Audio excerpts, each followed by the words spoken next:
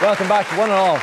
Well, my next guest is an Australian musician, composer, songwriter, actor, and comedian. He joins us tonight directly from his sellout show at Vicar Street. He is known for his slightly risque lyrics, so we asked him to do something suitable and short uh, for the show tonight. What a pleasure it is to welcome Tim Minchin.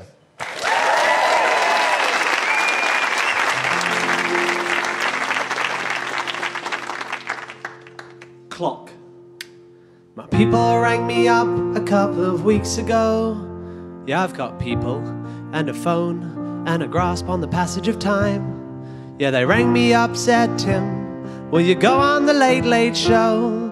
They want you to sing a song, baby, it'll be fine, fine, fine. But the problem with my particular oeuvre is that half my songs are five minutes and over. And the theory here at RTE is that viewers switch off if you go past three. And a lot of my songs have a bit of bad language, which causes the viewers untold anguish. It seems that tolerance for smuttiness is reserved for pussy puns on Are You Being Served? And so I need a song that only goes for three minutes without no bums or blasphemy in it. A lovely little ditty for the delicate asses of the innocent Irish lads and lasses. I need a song with a chorus and a verse without no nasty cussing and a cursing. I'm a little too lewd and a little too long. I gotta write myself a three minute song. And they said, Remember, boys, that music is like love making. It's simply self indulgent to take it past three minutes. Remember, boy, that music is like love making. Everybody loves a pianist, but length must have a limit. So you need a song that only goes for three minutes without no pornography or politics in it. We're not quite sure if our viewers will cope if you say prick or poop or pope.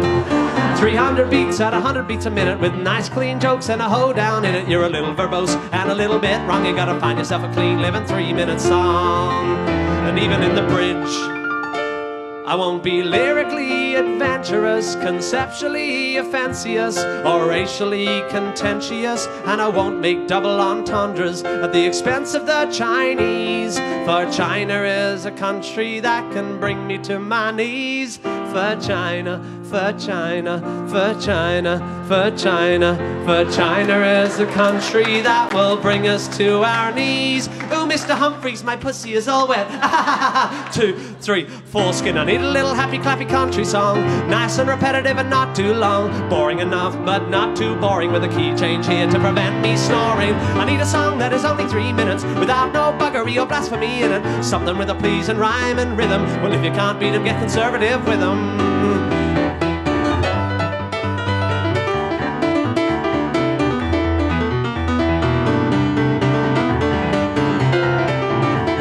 I need something suitable for RTE so I can flog more copies of my DVD by pretending for a while that musical satire hasn't progressed since Victor Borge. You've got a telly and I wanna be on it, and apparently you'll only watch for three minutes.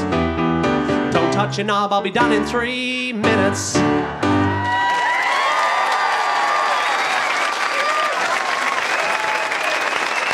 Oh, yes. Tim Minchin, very good. Yeah, really good. Well. That's impressive, I have to say. Tim Minchin, ladies and gentlemen, he'll be at the Cork Opera House on Monday, October 31st, and at the Bulmers Gal- Galway Comedy Festival on, on October 28th and 29th. For more details, check out galwaycomedyfestival.com. And Tim's DVD, which he kind of mentioned there in the song, Tim Minchin and the Heritage Orchestra, is out next month in three minutes. Tim Minchin, well done. Good news. Enjoy that.